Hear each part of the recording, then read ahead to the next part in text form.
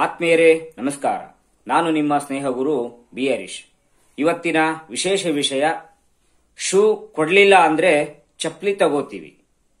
ಆತ್ಮೀಯರೇ, ಟೈಟಲ್ ನೋಡಿ ಗಾಬರಿ ಆಗಬೇಡಿ. ಇದು ವಾಸ್ತವ ಮತ್ತು ನಿಜ.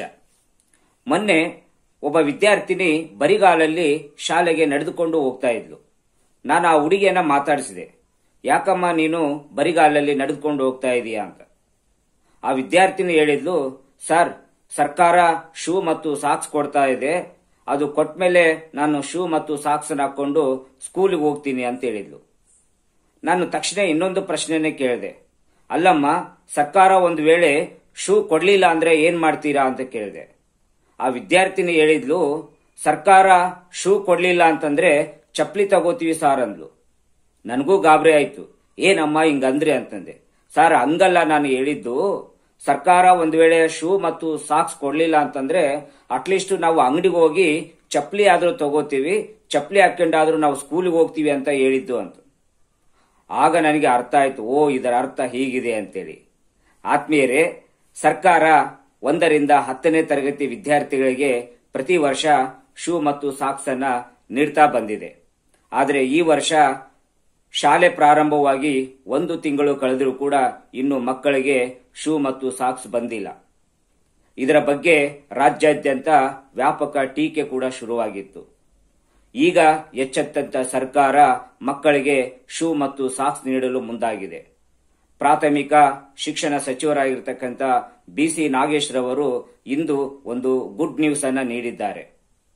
ಶಾಲೆಗಳಲ್ಲಿರುವ ಎಸ್ಡಿಎಂಸಿ ಮೂಲಕ ಶೂ ಮತ್ತು ಸಾಕ್ಸ್ಗಳನ್ನು ಖರೀದಿ ಮಾಡಿ ಮಕ್ಕಳಿಗೆ ವಿತರಿಸಲು ನೂರ ಮೂವತ್ತೆರಡು ಕೋಟಿ ಬಿಡುಗಡೆ ಮಾಡಲಾಗುವುದು ಎನ್ನುವ ಮಾಹಿತಿಯನ್ನು ಕೂಡ ನೀಡಿದ್ದಾರೆ.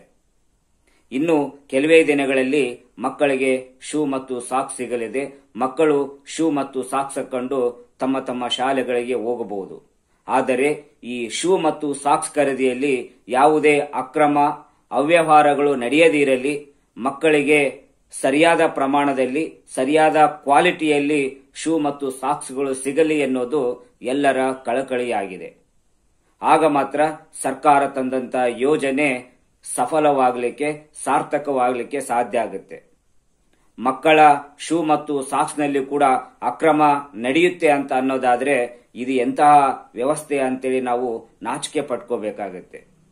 ದಯವಿಟ್ಟು ಇದರಲ್ಲಿ ಆದರೂ ಯಾವುದೇ ಅವ್ಯವಹಾರ ಅಕ್ರಮಗಳನ್ನು ಮಾಡಲಾರದೆ ಸರಿಯಾದ ಸಮಯಕ್ಕೆ ಮಕ್ಕಳಿಗೆ ಶೂ ಮತ್ತು ಸಾಕ್ಸ್ ಅನ್ನು ವಿತರಿಸಲಿ, ಅವರ ಶೈಕ್ಷಣಿಕ ಪ್ರಗತಿಗೆ ಸಹಕರಿಸಲಿ ಎನ್ನುವುದು ಎಲ್ಲರ ಕಳಕಳಿಯೂ ಆಗಿದೆ.